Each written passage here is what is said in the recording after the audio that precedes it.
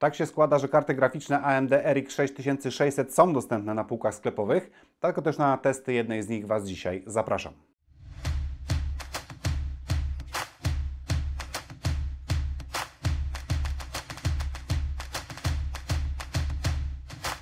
Moi drodzy, witam Was bardzo serdecznie. Dziś zapraszam Was na testy karty graficznej Gigabyte Eagle RX 6600 bez dopisku XT.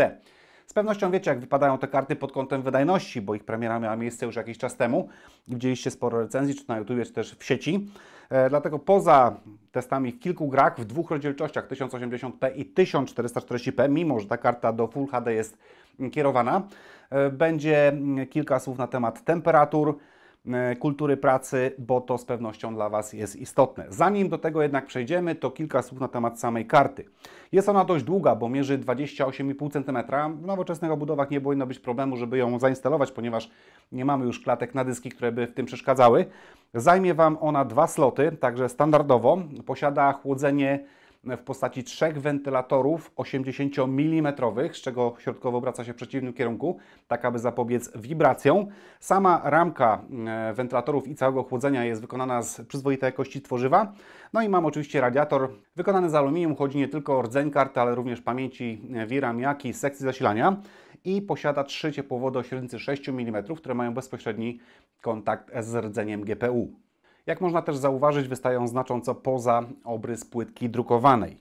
Karta wyposażona jest w backplate, który ma wprawdzie kontakt za pomocą termopadów z pamięciami VRAM, ale wykonany jest on niestety z tworzywa, także bardziej pełni on rolę estetyczną.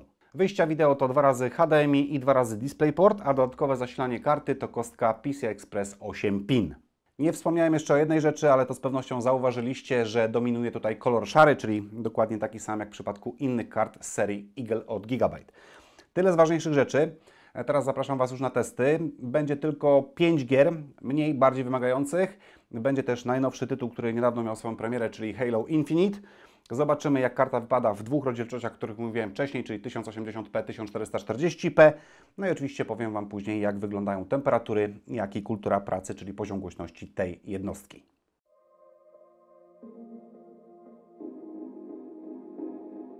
Zaczniemy od killera, czyli Cyberpunk 2077. W 1080p pozwolić sobie możemy na detale ultra. Wprawdzie nie dobijamy do 60 klatek średnio, ale można to spokojnie uznać za płynną rozgrywkę. W 1440p, aby grało się komfortowo, suwaki zmuszeni jesteśmy przesunąć na średnie. W Dead Stranding na obydwu rozdzielczościach rozgrywka jest mega płynna na najwyższych ustawieniach.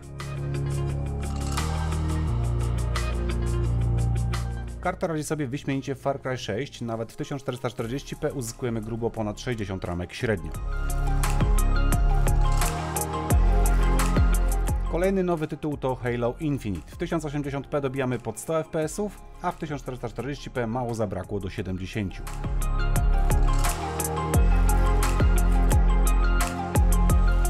I w końcu stary już dość tytuł, a mianowicie Shadow of the Tomb Raider. Zarówno w 1080p, jak i 1440p na detalach najwyższych możemy mówić o płynnej rozgrywce.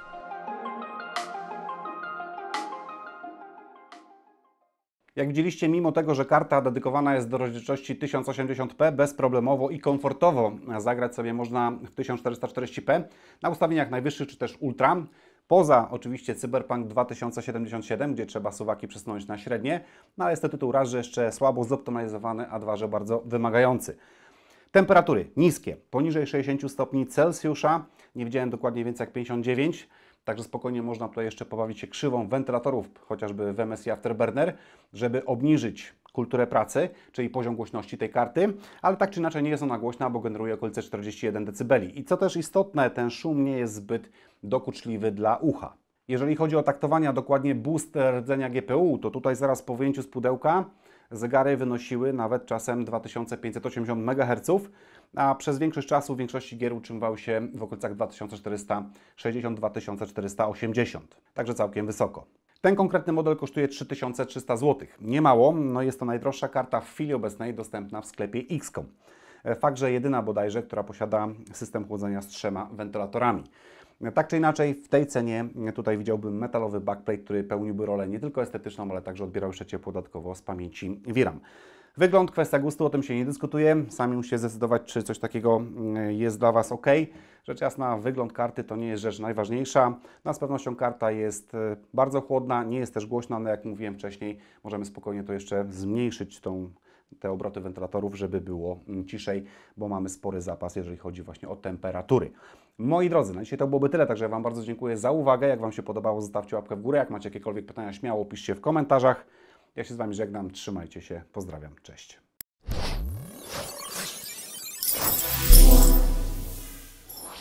Zapraszam do mojego sklepu komputerowego blackwhite.tv.